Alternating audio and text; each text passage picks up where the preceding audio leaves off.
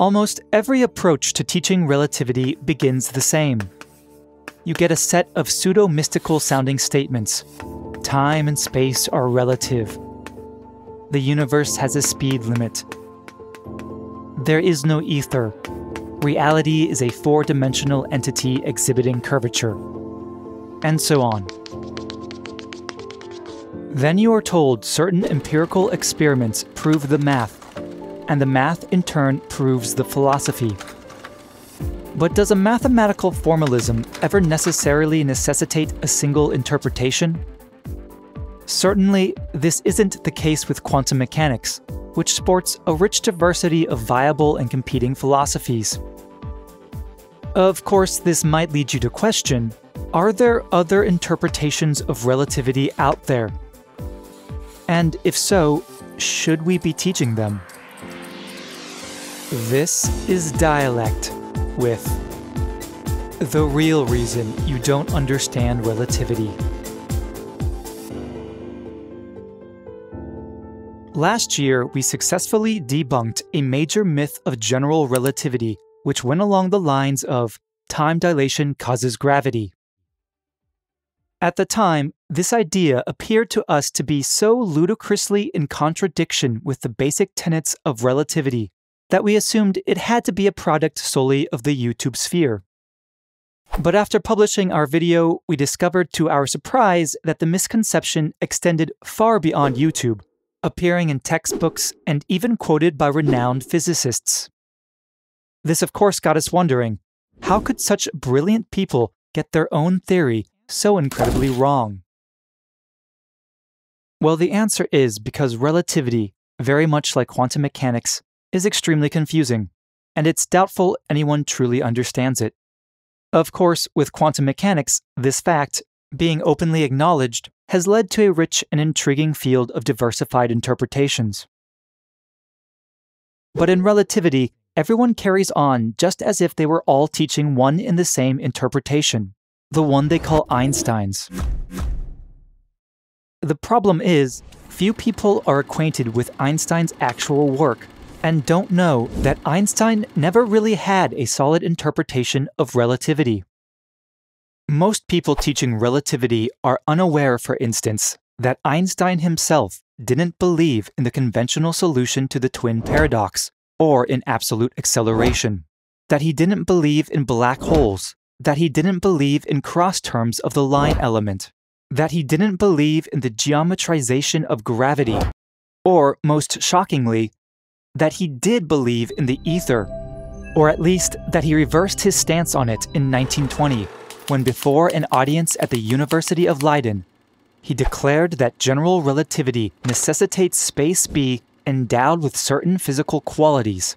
And since the special theory of relativity does not compel us to deny ether, that therefore there exists an ether. Indeed, a number of major shifts in Einstein's interpretation of relativity can be traced throughout his lifetime and he died never really having made up his mind about what the theory actually meant. In his wake, he left an immense philosophical vacuum, which modern physicists are still trying to fill in with their own ideas today. The result is an extraordinary and inordinate confusion, which you can see clearly on display in the wide number of personal interpretations that professionals give to their explanations. Such differing interpretations can be found in any number of YouTube videos, but today we're going to pick on one in particular. Sabine Hossenfelder's Why You Misunderstand Relativity. Now, we enjoy Sabine's channel, and we were, in fact, greatly appreciative of this video on the whole, since it corroborated our own video from a few months earlier about how you're accelerating up at the surface of the Earth. But on the flip side, this video also brings several contradictory statements into immediate proximity to one another, and in doing so demonstrates just why relativity is so badly in need of better interpretations. No, this isn't an attack personally on Sabine in any way, and she has plenty of great content. But we do feel that her arguments in this video are representative of the confusion of the greater physics community as a whole. Now, the video gets off to a strong start, with Sabine emphasizing the formalism of relativity over its philosophy, and explaining that our confusion about relativity stems from the simple fact that we're treating time dilation too literally. That is, taking it to be something physically real when it's rather just an artifact of how we choose to do measurements and draw up coordinates. The time that passes between two events is not the time on the coordinate axis. That's just a label. It's convention. It has no physical meaning. This is what people often call time dilation. I'd call this pseudo time dilation because it's a meaningless comparison. Why would you care about the coordinate time? It's just a label. It has no physical meaning for Bob. All of this is great, and it seems very in keeping with Einstein's original 1905 special relativity paper, wherein you won't find too many grand statements about the nature of space and time itself, but rather just a simple demonstration of how adopting light as a basis for our spatiotemporal measurements conveniently reproduces the already well known at the time Lorentz transformations.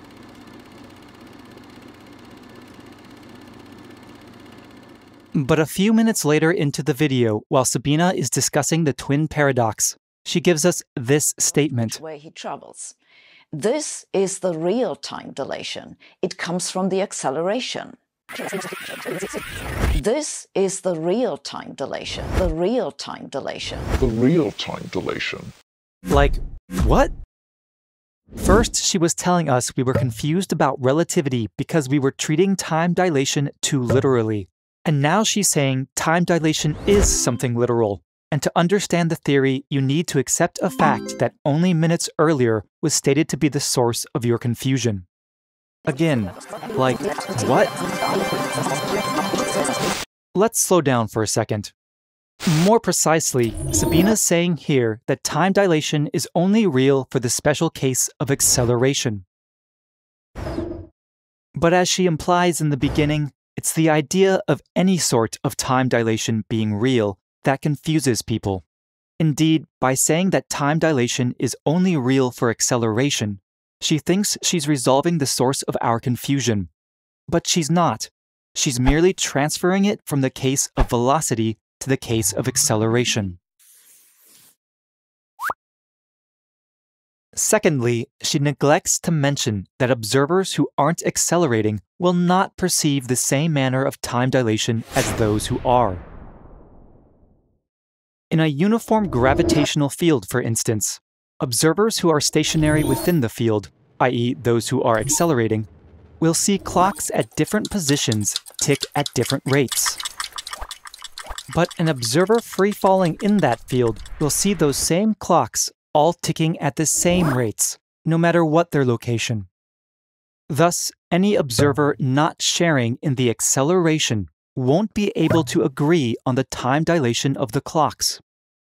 So, by no means can we claim accelerated time dilation to be any more or less real than velocity based time dilation. They both are coordinate observer dependent phenomena. Now, Sabine does point out that a more meaningful comparison of time ought to happen when observers are rejoined at the same place to compare clocks, which is why she brings up the twin paradox. But she gets something very wrong when she says that the real time dilation comes from acceleration. The asymmetry of the paradox certainly comes from acceleration.